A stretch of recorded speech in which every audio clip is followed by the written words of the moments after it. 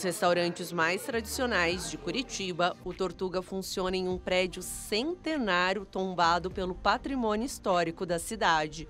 Fundado em 1979, o restaurante preserva um estilo rústico em sua decoração. Além de histórico, o Tortuga é também temático, com inspiração nos piratas.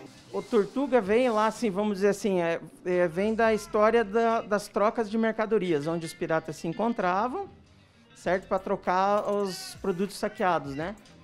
E o restaurante entra em que ponto? Na questão ali de, da reunião entre eles, né? Da confraternização dos piratas, né? Com mais de 40 anos de história, o Tortuga preserva até hoje o mesmo cardápio desde a inauguração, com foco no filé mignon.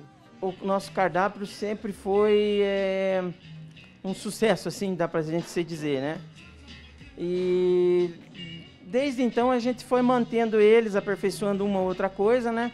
E sempre o pessoal tem gostado muito demais. Então, assim, não teria por que a gente mudar essa receita, né? Antiga. E a gente vem mantendo ela desde, desde então. Com capacidade para até 200 pessoas, cada cantinho do restaurante é decorado com a temática de piratas, mas não para por aí. Aos finais de semana, os piratas entram em cena e interagem com os clientes. Quem vem até aqui aproveita o ambiente e as delícias do local. Além de ser um ambiente muito gostoso, né, um cardápio excelente e a qualidade, né? Então é um ambiente bem acolhedor.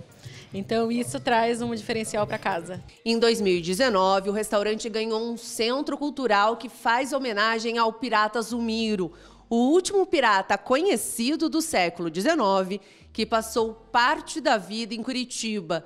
Aqui a gente tem acesso a ilustrações e pesquisas que contam a história desse personagem que faz parte da memória da cidade.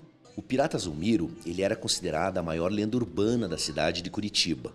Esse pirata inglês com esse nome excêntrico de Zulmiro, que veio se esconder aqui no século XIX, e a lenda falava que ele havia enterrado um tesouro aqui em Curitiba. E essa era a lenda urbana. E o espaço cultural aqui do Pirata Zulmiro, a importância dele, é porque ele mostra toda a história verdadeira do pirata. Essa minha pesquisa, que já tem 18 anos, onde realmente eu consegui localizar o Pirata Zulmiro. Ele realmente viveu aqui em Curitiba, morreu em 1889 e trouxe para a realidade o que era antes uma lenda urbana.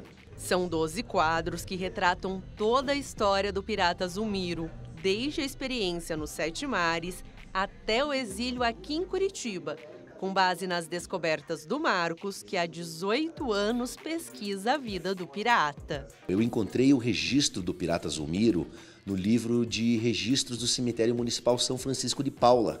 Ele morreu no dia 24 de agosto de 1889. Inclusive, eu encontrei no registro da Igreja Matriz a certidão de falecimento de óbito religioso dele. Encontrei inclusive a certidão de óbito civil dele no antigo cartório da colônia argelina, que inclusive falava que o pirata deixou filhos aqui na cidade de Curitiba. Então, e, e também encontrei documentos dele na escola inglesa onde ele estudou, os registros em Eton College, escola inglesa, nos anos de 1811, 12, 13 e 14, que comprovam que o John Francis Hodder, o nome verdadeiro dele, se escondia aqui em Curitiba como João Francisco Inglês e é o capitão pirata Zulmiro, o último capitão pirata do século XIX. Após ter acesso a estas descobertas, a Prefeitura de Curitiba reconheceu a veracidade dos documentos e o pirata entrou para a história oficial da cidade história que é contada no restaurante Tortuga. Vale muito a pena que os curitibanos venham ver, porque essa história com certeza vai reverberar no mundo inteiro, porque o tesouro do pirata Zumiro ainda está escondido na Ilha da Trindade e nós temos uma futuramente uma expedição para encontrar ele. Então é muito legal que os curitibanos venham visitar aqui e conheçam o espaço cultural do pirata para eles conhecerem esse pedaço da, da história de Curitiba que estava oculta e agora vem à tona.